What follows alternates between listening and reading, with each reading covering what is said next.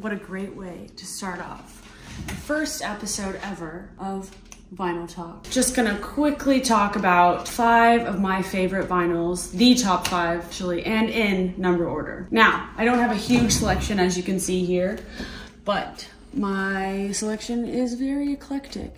Beach Boys, Beatles, Rolling Stones, Lionel Richie, Nat King Cole, Neil Diamond, Motown, Cats, I guess musical phase, The Bangles, James Taylor, Hall and Oates, just everybody. Got some J. Cole in there too, some Duffy, Lana Del Rey, you know, um, and Kid Cudi. I got my first record player when I was 16 years old because I asked for it for my birthday and um, I got it. That was pretty cool. Yeah. So anyways, let's get started. The first one, Soundgarden.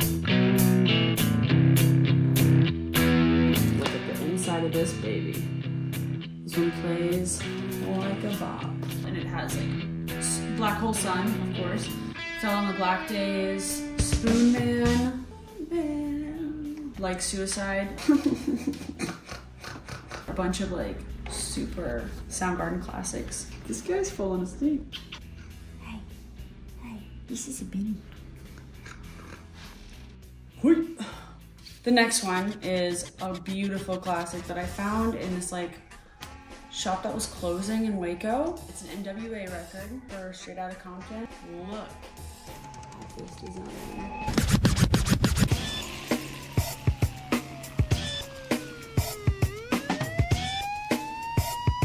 I played this all the time in college. It looked really cool on my record player. I used to just leave it on my record player whenever I didn't have anything else on it, and then, then I had to clean it off a bunch. I'd rather just keep it in this. Everyone loves NWA in college. That's like, come on.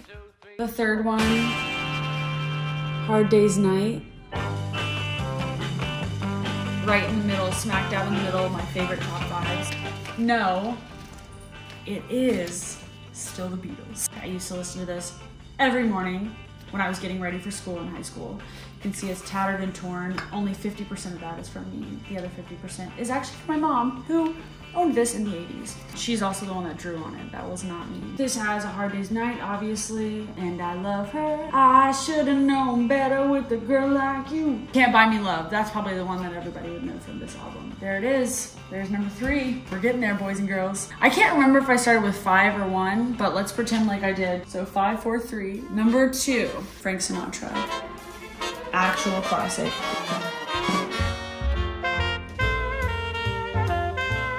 I would listen to it all the time when I came home from school. Yeah, this is a reprint, obviously. I mean, it's super new and untattered, which is hilarious because it's literally the oldest record on my shelf. It just wants to be played, you know? This is a great album. Frank Sinatra has a classic voice and a classic sound. Big, like, pop star, I guess? Who knows? Not pop star, rock star, star star. Last but not least, actually first, my favorite album of all time.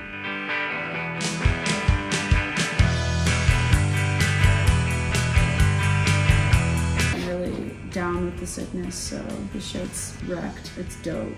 It has about a girl, smells like Teen Spirit, come as you are on it, heart-shaped box. But it also has a bunch of other songs that I love. This is the best album I possess, in my opinion. Oh, I also have, if you can see right here, I also have a Kurt Cobain pop figure that my boyfriend and I found. I'm probably gonna put this on now.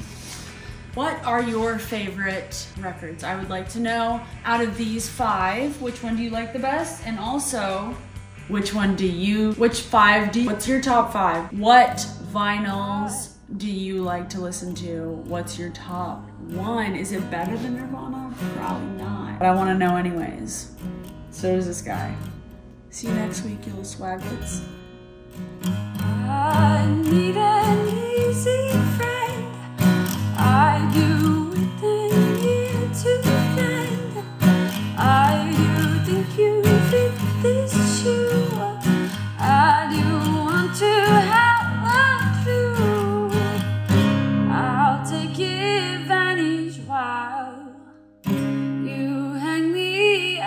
to try, but I can't.